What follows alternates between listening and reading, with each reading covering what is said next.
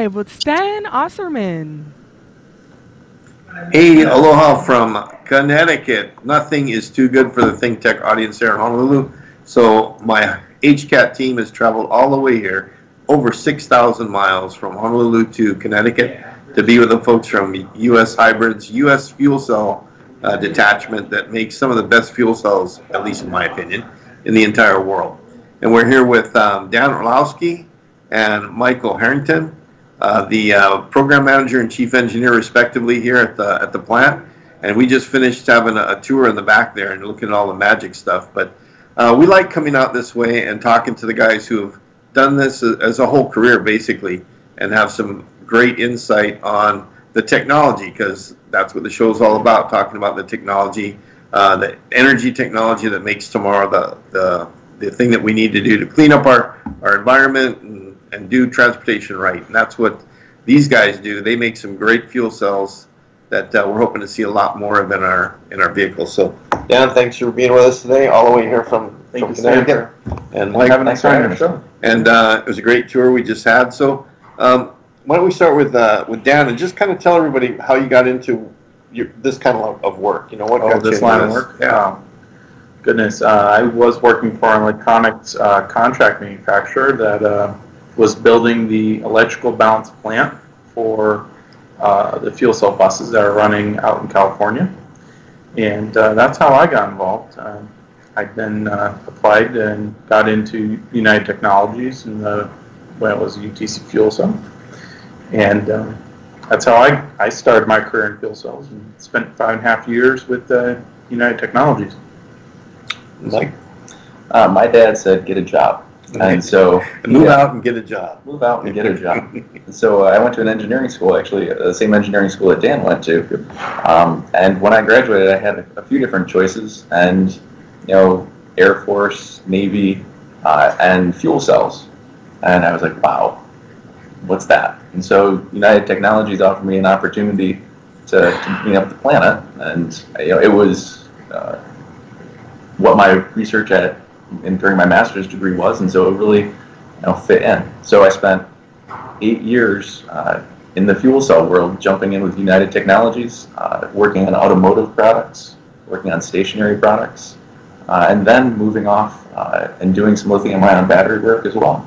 Uh, six years in the, the lithium battery world, but you know I started as a mechie and somehow I ended up in electrical, and I've been doing electrochemical ever since. Great. Now here we are working for US Hybrid. working for Abbas. We had Abbas on for a couple shows uh, earlier uh, last month, and he did a great job of explaining uh, logic behind fuel cells, especially um, the fact that technologically we're there, um, and the real choice is economics at this point. You know, getting the economics to match up, getting the infrastructure out there so the fuel cells can be used, and that's really the the point that we're at but one of the things that, that I'm always faced with uh, in Hawaii, I, I always get this question, and with your battery background and the two of your experience, is you know when we compare batteries and fuel cells, um, it's always this well batteries um, more energy out for energy in than a fuel cell. More basically, you get more bang for the buck when you have a battery, and people stop there with the efficiency of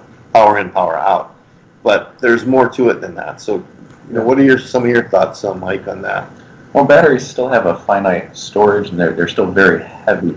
So it, it's you say power in and power out, and the efficiency can be high, but they're still very susceptible to environmental changes. Um, and the, the the hydrogen source is uh, it's much uh, more pure and available actually than the uh, than the electricity.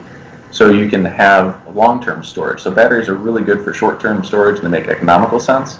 But if you're looking for long-term uh, opportunity to store energy, say seasonal, which is something I hadn't really thought of until I actually got to talking to some of the grid people who are saying, you know, we need to store energy for a long time. We've got this excess energy from the grid. What do we do with that? I can't put it in a battery. My battery's going to fill up too quick, Mhm. or it's going to be, Right. you know, a battery the size of Texas. Right. So they said, well, I can, you know, pumped hydro is pretty popular, but if you don't have hydro, I can roll up a hydrogen tank, and I can actually, you know, store it as hydrogen, save it for not just, you know, like daily periods where most of us stop thinking about, Mhm. but for monthly or even longer term, where you actually see seasonal changes. And, and, yeah, Mike talked about the, the, the, the, yeah, the weight and also the, um, the control, the climate, the climate piece. You know, one of the things that, that I think people get confused is they hear that fuel cells basically just expel water out the exhaust pipe. And so they immediately think, well, then it won't work in cold climates because it's got water in it. Um, why don't you explain that technology and, and fuel cells? Well, it's all how you manage the water. Uh, that's where whether or not you can be freeze capable versus freeze tolerant versus uh, not tolerant at all of being able to be freeze is, is how do you uh, deal and manage your water on uh, as an engine as a whole. So not only is your you have your cell stack technology has to be freeze tolerant and Mhm. freeze capable, but then the rest of your balance plant, as we call it, the, the all the other parts of your engine, which uh, comparably to a internal combustion engine would be your water pump and oil pump and all those other uh, heat exchangers and things like that. Also, need you need to just deal with in a way to to make that engine as a whole survive those conditions. So your fuel cell, assuming it's built for cold climates, it's, it's engineered properly for controlled expansion and things like Right. that, and keeping your seals tight, and they don't leak. Um, if you had a battery and uh, a fuel cell side by side, um, what are some of the consider? I mean, a fuel cell starts to make heat as soon as you turn it on, Right. but a battery, it's if it's cold soaked, is cold soaked. You know, so I mean, you get less energy out of it, and certainly when a fuel cell is initially cold, you're not going to get as much energy out of it. but as it warms up, as it warms up. But because your battery was your energy storage medium, if the energy storage went away because it got cold, it, it's gone. It's dead. The, the charge left. mhm. And, and so that's part of the problem. And the efficiency of the battery at low temperature, like negative 30 or negative 20, is, is usually only around 60%. So if you tried to do that normal commute of 40 miles in your Volt, you'd only have 60% of that range if Right. the battery stayed at that temperature. So you, and I didn't even think about that. If you just had a purely electric vehicle and you're purely counting on batteries, then you also have a reduced uh, performance just because of climate. Yeah. I, ne- I've never even really thought about Even that. the Chevy Volt, they intentionally heat the coolant system to bring the battery up to temperature. Right. So do they use internal battery power, or I mean, is that something where you, when you're plugging in, essentially. it's like a like a block heater? They when you plug it in, it keeps it all warmed up. And they also intend, they have the control space they set up so that when you turn on the Volt, it has a gas engine, so it actually heats using the internal combustion engine at the low temperature. So it's one way that they get around it. See, these are some of the things that in Hawaii we don't talk a whole lot about because if it gets down to 60 degrees, we bust out the parkas, you know, and Right. You know, if it gets down to fifty, we declare our state of emergency and, you know, things like that, but, but, but these cars are gonna be built for everybody, not just for Hawaii, so they've gotta be able to work in thirty below, forty below, and Yeah. also hundred and ten or hundred and fifteen in Arizona, and, you know, it's, they've gotta be able to survive that full climate range, so do the fuel cells do as well in that full spectrum? Depends on the type of fuel cell. Well, I mean, if it's made there's- for transportation and, I mean, I'm assuming that for Uh, transportation, you make them pretty rugged. Yeah, Yeah. The, the fuel cells that, that we've made, uh, Mhm. certainly now and in the past, have been capable of doing, you know, negative 30 degrees C all the way to 50 degrees C. And you Yeah. have the equipment to test it. Yeah, and we have really big Thermal thermal chambers. chambers that can go from negative 50 to, to 80 degrees C. Yeah. So it's a good time in the summer if you want to cool down. You just Mhm. open up the chamber. And Okay. So what size fuel cells, I mean, give us an idea in, in a motorcycle you might use, or that kind of a vehicle, how big a fuel cell versus all the way up to maybe an electric train, like a, a, a mm-hmm. city, a city train. What are the size fuel cells that would fit in those kind of vehicles? depending on how you want to use it, right? So in a motorcycle, if you want performance, if you want like your Harley Davidson, you want to speed up, you like that feeling of speed, you're going to need more power to do that. But And if that you just how many watts or kilowatts? or- might want upwards of a hundred to do something like that. I mean, it, But these you can days you can't by. get away from the electric drivetrain. So Right. no matter what, you're going to be electrified. Right. And you never usually see a fuel cell by itself. You usually see a the- fuel cell paired battery. with a battery. Right. And so, you know, the fuel cell is great for, you know, doing the Keeping five to ten nice and kilowatts which you would use on a bike, right? Mhm. And then you'd have a high power battery basically to, you know, get you that Maybe even a capacitor. speed. Or a capacitor, yeah, some kind of the, the the electrification is here though. Yeah. trains need megawatts of power to move them. That's Megawatts. big. But they're using, they're, they consider fuel cells these days for hotel loads. Okay. That is lights, heating, air conditioning, um, or maybe a, a refrigerated car. More so than Those kinds. attraction. Right.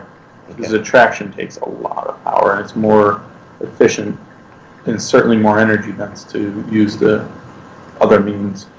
Okay, so we have a couple models here.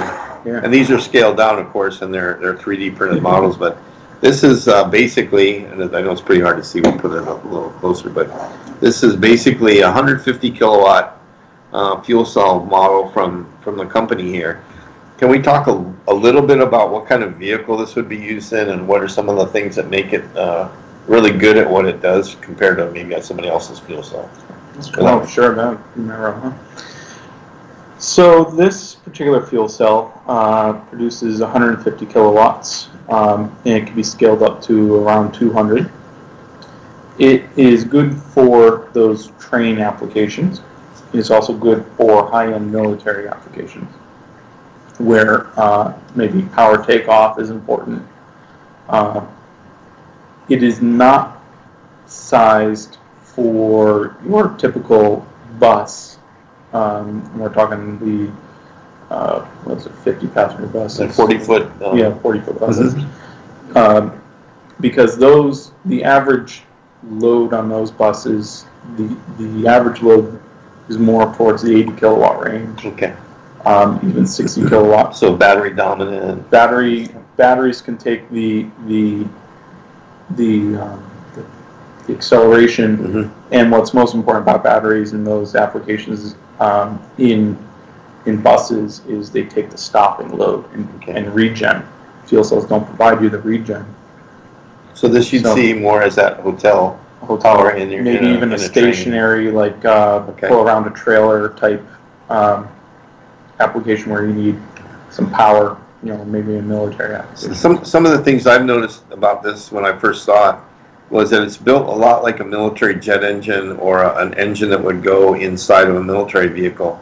Because the main component that normally doesn't need a whole lot of work is in its own weatherproof and protective case. And then your accessories, blowers, pumps, things that you might need to change out fairly frequently are all on one side accessible. So you could actually design it to fit into a vehicle where this side could have a door that comes down. The mechanic could go and work on it, change the parts, close it back up, change a filter, just Yeah. open and close. And then if you did have to take the whole thing out, there's lifting points. You can just pick it up with an engine hoist, pull it out, replace it with a new one, plug it in, and you're off and running again. So Right. I thought the modularity of this design was, was really nice. Um, how about how about the ruggedness of the design compared to? I mean, you talked about stationary fuel cell applications, and UTC did that in the past as well. What makes a stationary fuel cell different than something used in transportation? Well, mainly the fuel.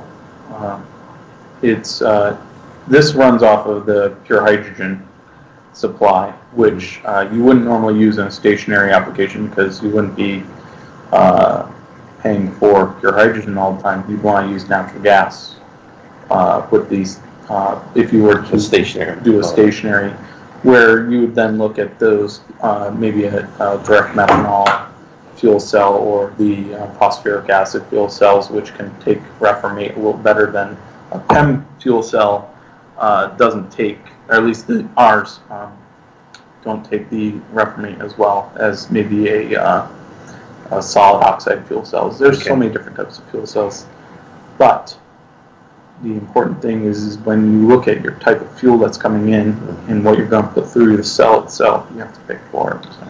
But when you're, you're talking the difference between a PEM and a solid oxide, there's a difference in startup time, isn't there? Oh, big time. And that's Yeah. why maybe a uh, someone who's got a stationary application can deal with a longer startup time. Just leave it running. Right. Set it, forget it. But when the automotive world and the vehicle world, you want to turn it on, and 30 seconds later, at, at the most, you want to be driving. Right. You know, you want your power, and so that's what these engines are are, are based upon. Okay, great. Well, we're coming up on our first break here, so we're going to take a 60 second break and talk about some of the other programs on ThinkTech and then be back to Connecticut. Hello and aloha.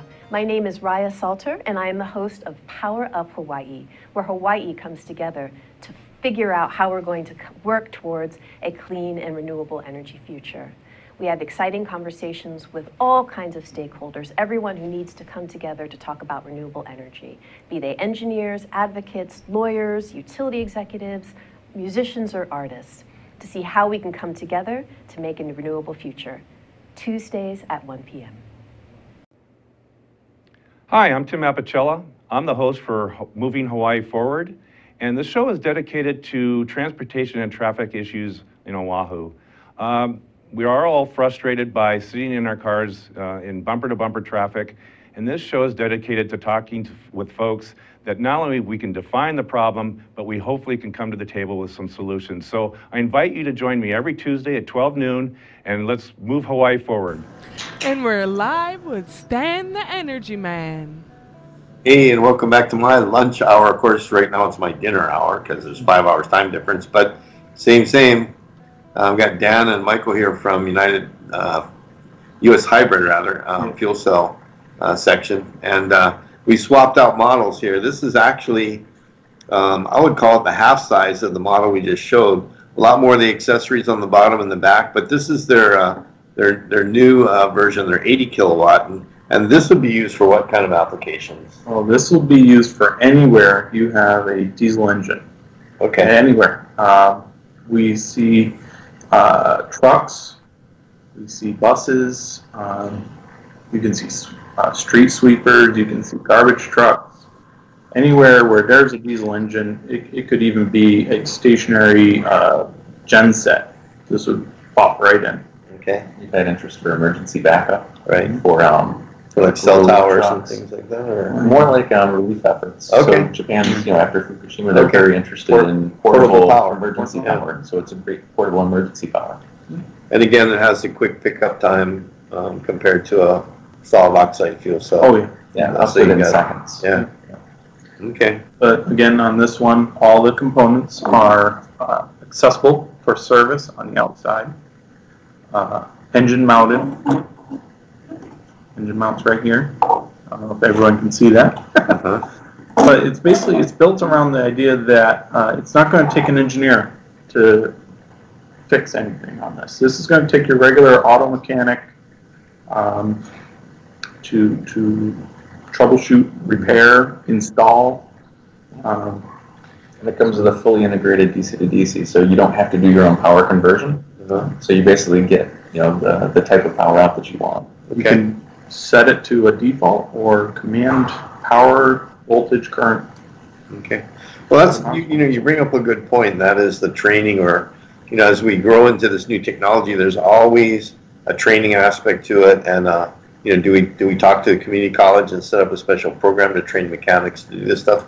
How hard is it to get folks trained into a fuel cell? I mean, I look at this technology and, and I'm not a super mechanic or anything, but I go, well, that looks pretty familiar and that looks pretty familiar. And, you know, what, compared to what an auto mechanic has to deal with it, um, do you think overall it's easier to take care of or, you know, easier to transition to something like this? Certainly, it will be a lot easier. Uh, one of the very first things we did was we start stopped calling it power plant. That was the very first thing we did. We start calling it an engine. Right, that's that's important for uh, acceptance, uh, the industry acceptance, but also it helped then lead the way to pointing out that you know here's your air blower. It's the same air blower you see on automotive. This is turbocharger. Turbocharger, yeah. It's just electric drive, which is also becoming a little more prevalent.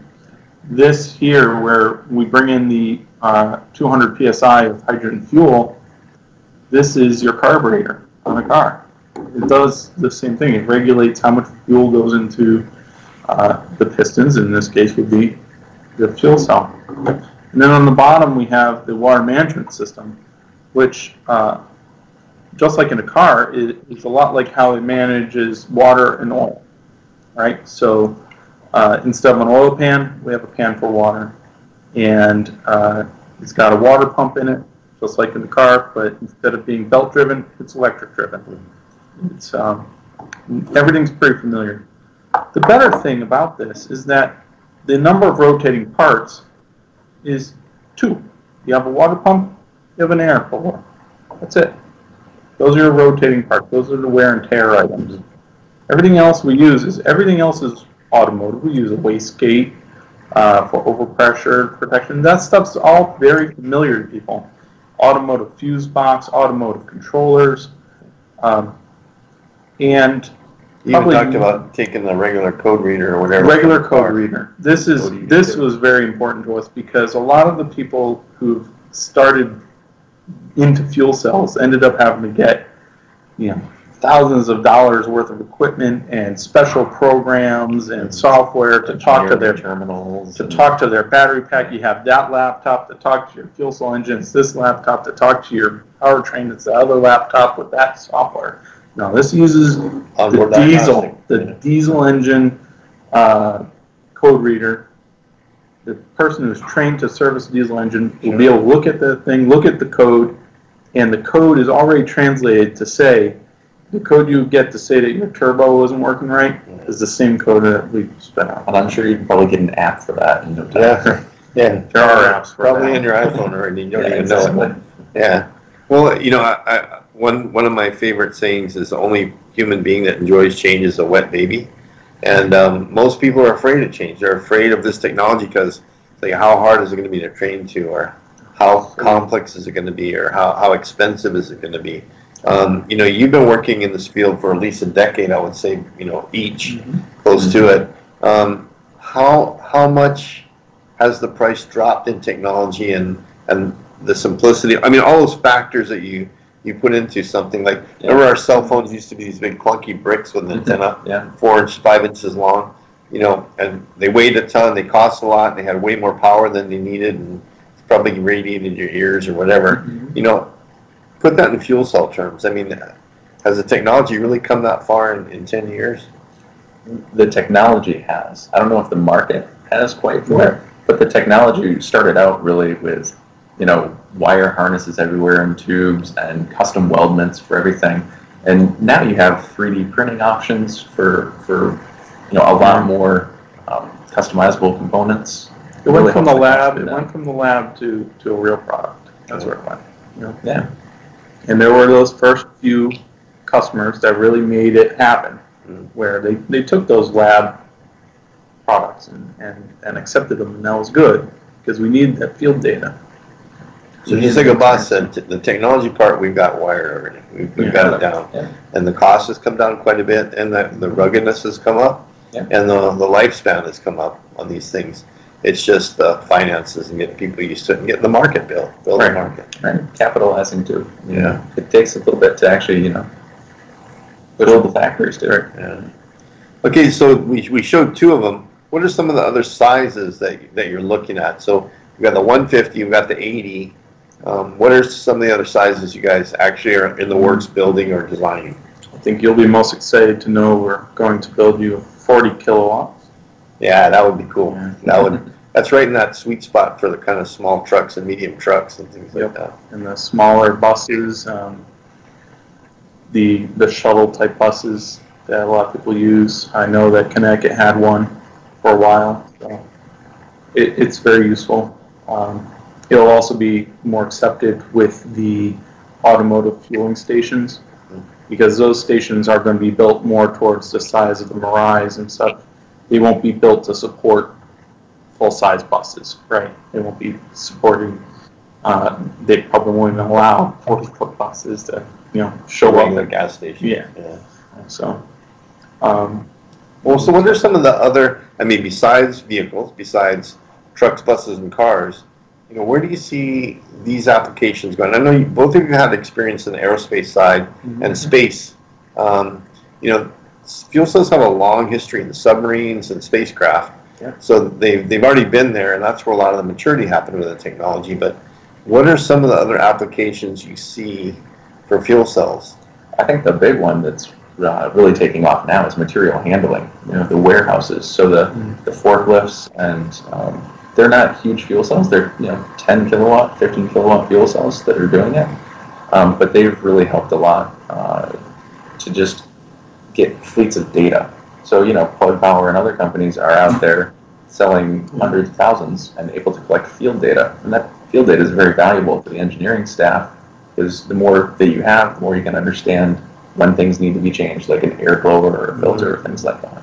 Do you guys have a ten kilowatt in the, in the future? We actually have, we're working on one right now uh, Okay. for a range extender application, which is another good one. You know, everybody wants to do battery electrics, um, but the battery electrics, they just don't have enough energy right now. You know, the, the big advantage of the fuel cell isn't the power density, it's really the energy density.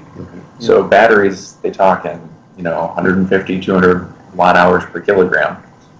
Fuel cells, we're looking at thousands, like 7,000 watt hours per kilogram for the Mm. same equivalent. That's really the big advantage of the fuel cell That's a good way to look at it. Another way to look at it, and I think Abbas pointed this out on one of your shows, was that you, to get the range, yes, the batteries are out there, but you don't have the axle weight, Right. right? You just cannot, you're, you're gonna sacrifice Your what car- Your load. your yeah. cargo for more battery, Yeah. and then you're hauling all that battery around all the time. Yeah. You know, so. Yeah, and you're, you're using a lot of your energy just to haul around your battery. Yeah, Yeah, So it's, it just has a a diminishing return the We're not- more battery. we're not saying batteries don't have a place, they Sure, certainly do, sure. because, uh, there is a definite benefit to the ability to, to accelerate Yeah. And, and then, and the deceleration and storing the energy back is, is very important. but the, um, where the battery industry is going right now, they're going to higher and higher energy densities, which means more and more energy in one little cell. Mhm. right? And then you put, you know, thousands of these cells if you're a Tesla together, and that energy stays there, and it's rather dangerous there too. The fuel cell, you know, it's, you know, it's yay big. It has hydrogen air in it, okay, but it really only has at any one point in time the energy content of maybe one or two of those little cells. So if something happens there, it's not that big a deal. Right. You shut off the rest of Bob's plane, you shut off the engine, the reaction is Right. stopped. You stop the not- flow of hydrogen and, and air into the plant. Yeah. It's just like turning off your engine in your car. The ideally No. sized battery is the one that's high power and safe, something like an LFP chemistry. And, you know, the, the base load being hydrogen and the fuel cell. That's mm-hmm. the safest vehicle I can think of. Yeah. Fuel cells, I think a lot of people are gonna find are gonna be far more safer even than gasoline. We, we actually work with the University of Hawaii, and they've done a fair amount of training of our firefighters, both city and county and federal firefighters, because a lot of the vehicles we've had come through our station at Hickam and also at Kaneohe where Mitch Ewan has his station, uh, were being driven on the city roads and highways and the state highways. So we had to train firefighters so they knew what to expect. By the time they finish their training, they're all much more comfortable with hydrogen than they are with the gasoline uh, fire or vehicle incident. And at the end of the day, if nothing else, they have nothing to clean up afterwards.